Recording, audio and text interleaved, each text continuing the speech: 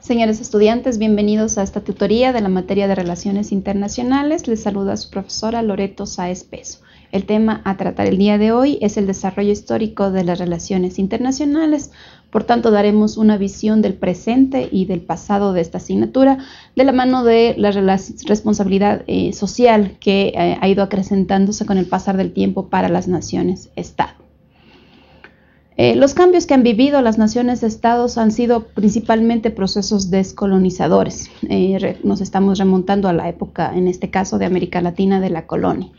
Eh, eso ha implicado que hayan estados atípicos, estados que no han sido totalmente reconocidos por la sociedad internacional. También en esta época ha existido fragilidad de la soberanía de esos estados y eh, han creado además nuevos conflictos internacionales, no solamente por el tema de eh, conflictos bélicos de territorio, sino también han surgido otro tipo de conflictos. Esos son los cambios principales dentro de los estados y el Estado es un sujeto de derecho internacional. En este sentido, tiene una soberanía, que es un derecho internacional donde los estados son sujetos primarios y son los creadores y destinatarios de las normas internacionales. Se suelen respetar estas normas y en la actualidad se está tratando de obligar a los estados a acatarlas gracias a la acción de la Corte Internacional de Justicia, un órgano judicial de la Organización de Naciones Unidas encargada de decidir sobre el orden jurídico entre los estados. No confundir, por favor, eh, con la Corte Penal Internacional, que a partir del 2002 trata del quiebre de individuos sobre derechos internacional individual. El Estado como sujeto de derecho internacional debería cumplir tres requisitos. Primero, tener una población, un conjunto de personas sobre las que se puede ejercer este poder político. Tiene también que tener un territorio, es decir, un soporte material donde se asienta esta población y además una organización política, es decir, un poder gubernamental que puede ejercer la acción con capacidad de soberanía interna y externa. Eh, tiene que haber también un reconocimiento de esa nación-estado, cumplir los requisitos anteriores, pero también tiene que recibir un reconocimiento. Y los reconocimientos pueden ser individuales, colectivos, implícitos y explícitos. El reconocimiento lo dan el resto de naciones-estados, sus vecinos. Tiene que existir además un momento en que los demás estados vayan haciendo ese reconocimiento. Eh, podemos eh, acudir como ejemplo al que nos pone los autores del libro base, que es la desintegración de Yugoslavia. No olvidemos que era un solo país y que en el momento de su desintegración pasó a ser más de ocho naciones independientes. Hay una inmunidad también del Estado. Si somos estados, somos soberanos y ningún estado nos puede decir qué tenemos que hacer. Pero, ¿se tiene una inmunidad completa a nivel de las relaciones internacionales?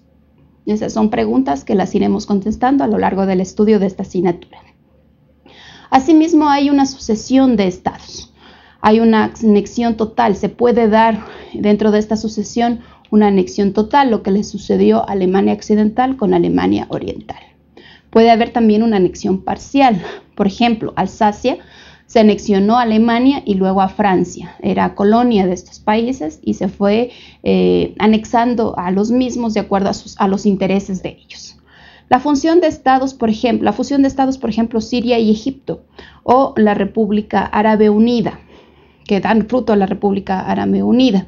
En Latinoamérica el ejemplo más claro es Costa Rica que ha cedido dependencia de Estados Unidos, aunque se declara soberano. Dentro de la sucesión de estados, la población en la anexión total se convierte a la nacionalidad. En la anexión parcial se establece un plebiscito o bien de opción, de decisión. Y en la descolonización hay una nueva nacionalidad que surge, salvo colonias británicas que pueden tener ambas eh, nacionalidades. Dentro también de la sucesión de estados hay un régimen económico de, sucesión. Hay deudas del estado anterior que se pueden heredar.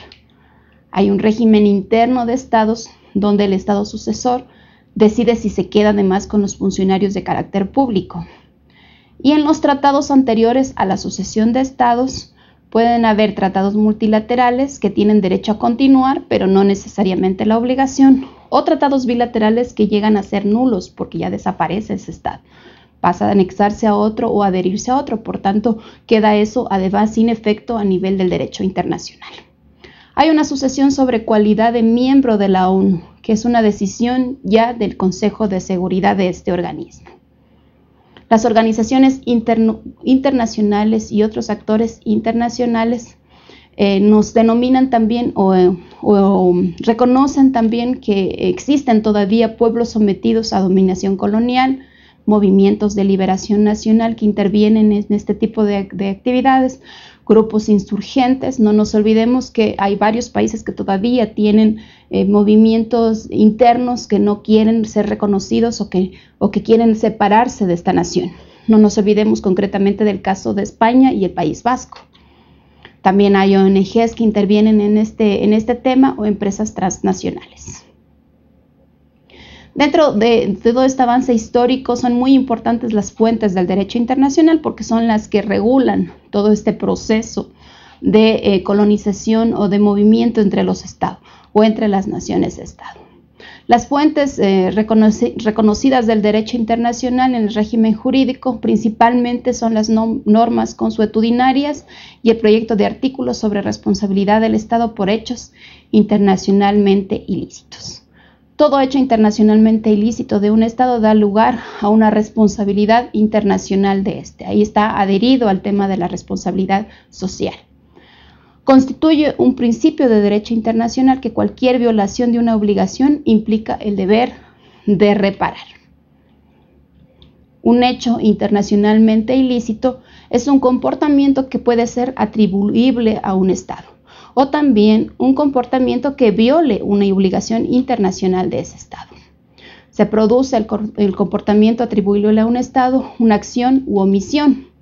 Ejercido, puede ser ejercido por órganos que tengan prerrogativas de orden público, pero también podrían entrar las particulares o los movimientos insurrectos de las que violan la obligación internacional, eh, todas las obligaciones internacionales están en vigor, si están confirmadas por los estados, eh, de comportamiento o de resultado, y son relativas a cualquier tipo de fuente.